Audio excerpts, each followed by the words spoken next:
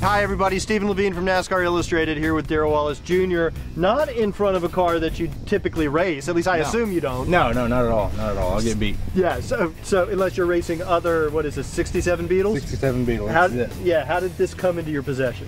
Well, um, a friend, good friend of mine, Mark Davis, he had, an, I don't know what years this was, but he had a Beetle. And he was going to sell it, and he asked me to buy it for him. I was like, ah, I don't know, I kind of just want to find one fully restored.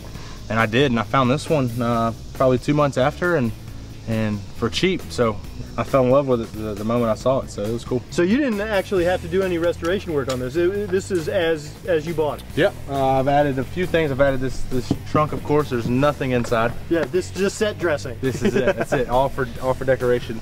Uh, I actually lowered it about two inches. I want to go lower. I want to put it on the ground on airbags. Here, here's the thing though about Beetles, because my dad had one probably a few years after this one was made. Right. My dad was not a car guy. Beetle was the car that anybody could work on, Yeah. regardless of whether or not they knew what they were doing. But you're a car guy. It doesn't necessarily feed that part of you that wants to get your your fingernails dirty, get under the hood. It does, but the stuff I want to do to it, it costs a little more money than, Ah. than a, a, normal brake job or something like that. I don't know. There's a lot of stuff on my list that we're gonna have to wait on.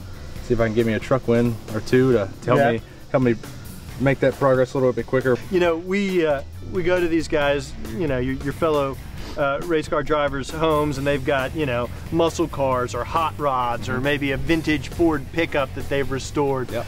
What does it say about you that you've got a VW Beetle? you know, Logano, good friends, and uh, he's got about four different cars, uh, from his rat rod to his, uh, I don't know what he just got, some Ford pickup truck, but uh, it's, I don't know, it's just fun. It's, it's fun, you know, having vintage cars and, and you know, showing them off when you can and, and letting see what everybody says. Some good, some bad, but Yeah. hey, it's all right. As long as I like it, it's all good. The day we bought it, a guy wanted to buy it. Now we drove two hours uh, back home and we stopped to get something to eat and he rolled up and was like how much you want for it and like we just got it today and then i just got it last week uh, somebody else wanted to buy it so uh, it's a hit i'll take it Yeah, man, you stand out. That's for sure. Yeah, yeah. That's for sure. the next next big project though is a vw bus The microbus with the huge VW on the front. yes yes Nice. that's what i want to get And go follow the Grateful Dead. yeah pretty much Yeah, exactly, exactly. You won't need a motorhome if you get that that bus I'll with stay in the that. settee Yeah. right in the back. yeah just trick it out in the in- inside and we'll be all right Absolutely, Yeah. absolutely. All right, man. Well, thanks for showing it off. appreciate it thank you